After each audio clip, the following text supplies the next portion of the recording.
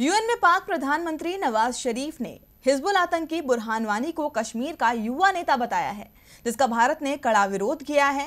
विदेश राज्य मंत्री एमजे अकबर ने अपना विरोध जताते हुए कहा कि हमने एक आतंकवादी का महिमा मंडन सुना। वानी हिजबुल का घोषित कमांडर था, जिसे आतंकी समूह के तौर पर देखा जाता है।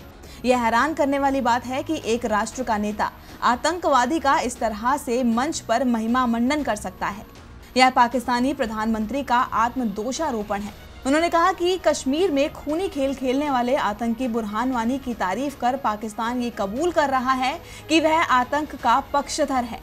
भारत ने एक सिरे से पाक पीएम के भाषण को खारिज करते हुए कहा कि पाकिस्तान हाथ में बंदूक लेकर वार्ता चाहता है, लेकिन बंदूक के साथ बातचीत नहीं हो सकती। उन्होंने कहा कि भारत पाकिस्तान सरकार की ब्लैकमेल करने की रणनीति के आगे नहीं झुकेगा। भारत ने पाकिस्तान की ओर से पेश किए गए सफ़ेद झूठ का करारा जवाब दिया है। साथ ही साफ़ कर दिया कि बंदूक और बात साथ साथ नहीं चल सकती। देखते रहिए टीपी लाइव